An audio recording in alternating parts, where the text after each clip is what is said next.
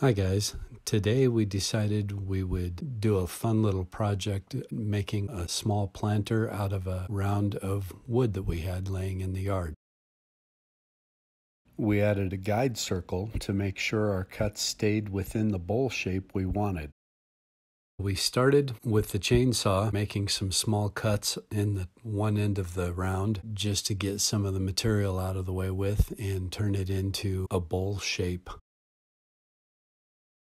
We found the most expedient way to remove material was a series of cuts nearly overlapping each other.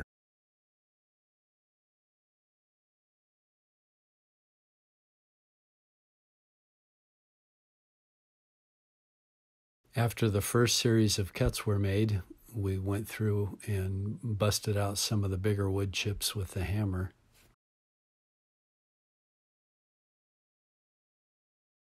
And cleared them out several times just to get as much as we could out of the way.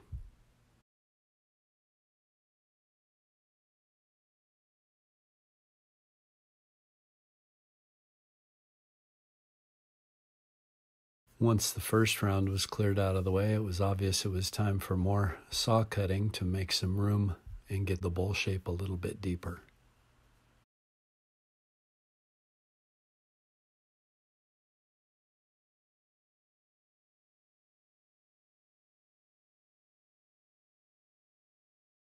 Once we got satisfied with the size of the cut, then we went to a rotary rasp and a die grinder and smoothed away some of the chunks that we couldn't get to as easily with the chainsaw.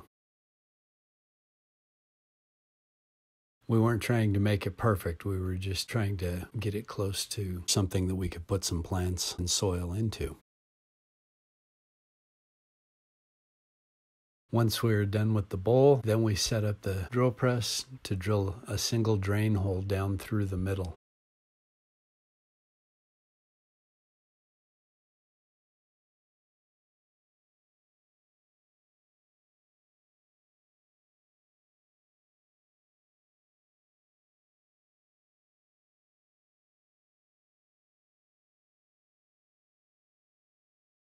When we were done with the drain, then we put a wire wheel on a grinder and used that to smooth out the top and the edge of the bark around the top just to try to keep it intact a little better and keep it from any spots that would snag or get in the way when you're working with the plants in it.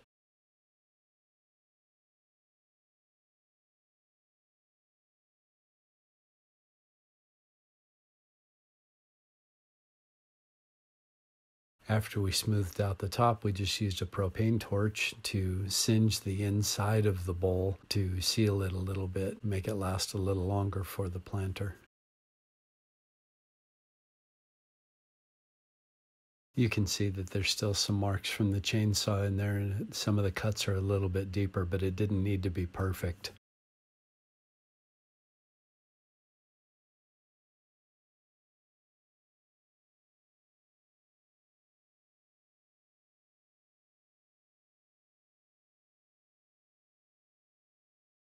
Here we cooled it off and tested the drain at the same time. At this point, there was still one long piece of branch on the side of it, and we wanted to get that out of the way. You could leave it, but we felt it would look more finished without it.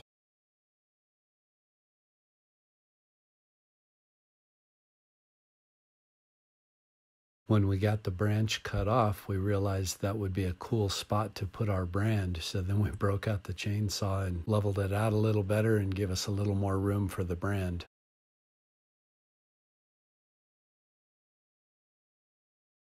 A little bit of handwork with the file to get it nice and flat. And here comes the brand. Because of the rough surface we were working with, it was necessary to gently rock the brand to ensure that it fully marked where we wanted it. And here's the finished product. The brand didn't come out perfect, but it's a planter out of a tree stump. We weren't looking for perfection, we were just looking for something cool and a fun little project.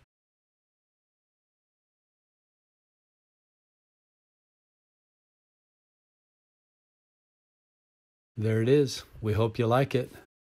Please subscribe and like.